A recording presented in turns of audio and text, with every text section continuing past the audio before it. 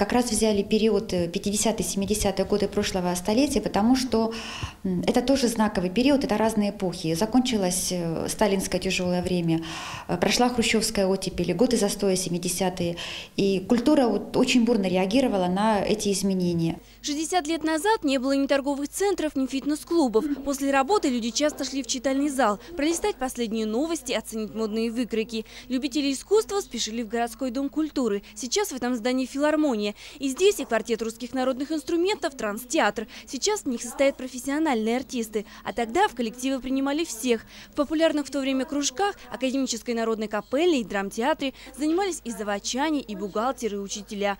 Еще любили кино. За 58-59 год было продано 3 миллиона билетов на разные кинофильмы.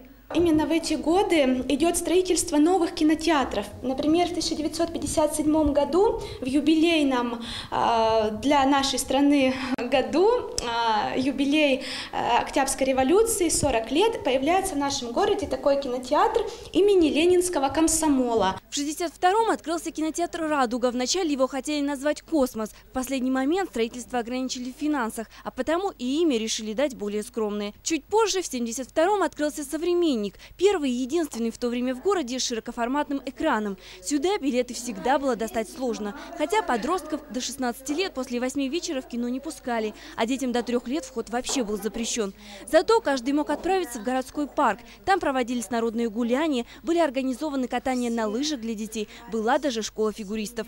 И жители города могли не только отдохнуть, но и почитать. Был читальный зал в парке культуры и отдыха.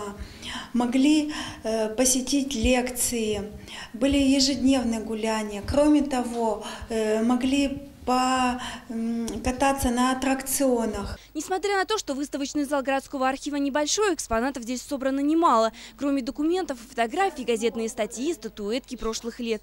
Их по папам и мамам, бабушкам и дедушкам искали работники архива. Кропотливо и бережно оформляли. Этим открыткам больше полувека. Такие с изображением любимых актеров в то время было очень модно коллекционировать. Еще их использовали как почтовые карточки. Выставку посвятили Дню города. Работать она будет еще месяц. А впереди у работников сбор материалов для экспозиции, посвященной развитию в Череповце театра.